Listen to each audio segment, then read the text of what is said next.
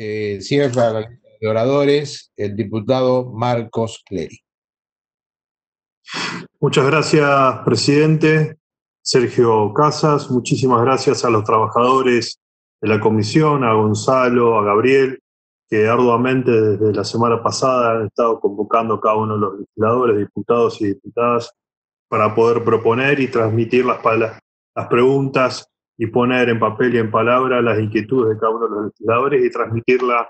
al Ministerio de la Producción. Muchísimas gracias, ministro, secretario de Industria, secretario PYME, por sus palabras y por su arduo trabajo para poner el sistema productivo en una orientación en donde podamos salir adelante de manera inmediata una vez pasada la pandemia y pensar en las urgencias que día a día tienen los trabajadores,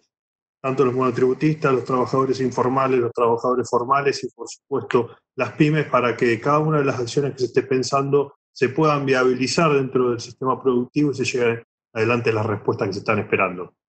Por supuesto, acá aparece Vito, perdonen, uno es celoso cuando uno está hablando, las, las preguntas que uno tenía, son parte de las inquietudes que cada uno de los legisladores ha estado planteando al ministro, de, distintos puntos de vista, más allá de, del bloque al que pertenece cada uno, ha planteado la posibilidad y la necesidad de tener un Estado más presente. Un Estado presente que dé desde sus acciones y un programa de gobierno orientado para sostener el empleo y el sistema productivo, la certeza la certidumbre para que los trabajadores, el sector empresario y las pymes puedan tener la posibilidad de ir proyectando hacia dónde ir, o canalizar sus esfuerzos y poder salir adelante. Sabemos que hubo una dificultad con la línea de financiamiento del 24% para el pago de salarios de marzo, y quería consultarle qué es lo que está haciendo el Ministerio para poder resolver esta situación.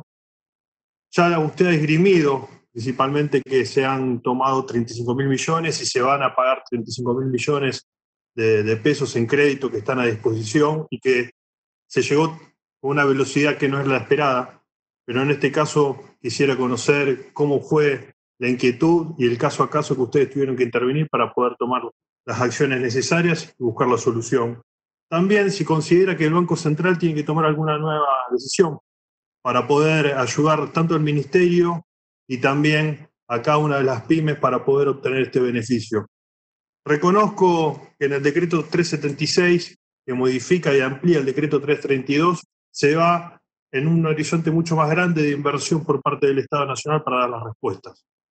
Y ese 3% del Producto Bruto Interno, que son cerca de 850 mil millones de pesos volcados para poder sostener el sistema productivo y, apostar que además de la salud, también se tiene en cuenta que la economía tiene que seguir funcionando para poner a la Argentina de pie, una Argentina unida. Son acciones que su ministerio, junto con todo el equipo de gobierno del Poder Ejecutivo Nacional, está llevando a cabo para poder salir adelante. Y por último,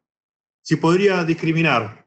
la inversión que ha hecho el Ministerio de la Producción provincia por provincia y después de esta videoconferencia nos los podría acercar a través de los secretarios de la Comisión y el vínculo a través del presidente de la Comisión, Sergio Casas, para que cada provincia tenga la inversión directa del Ministerio de la Producción, como ya la tenemos, la inversión directa que está haciendo el ANSES y el PAMI en cada una de nuestras provincias, trabajando de manera coordinada para poder salir adelante todos juntos. Muchísimas gracias, a seguir trabajando en conjunto y no hay queda más que agradecer y estar a disposición con un espíritu colaborativo para poner a Argentina. Muchas gracias, diputado.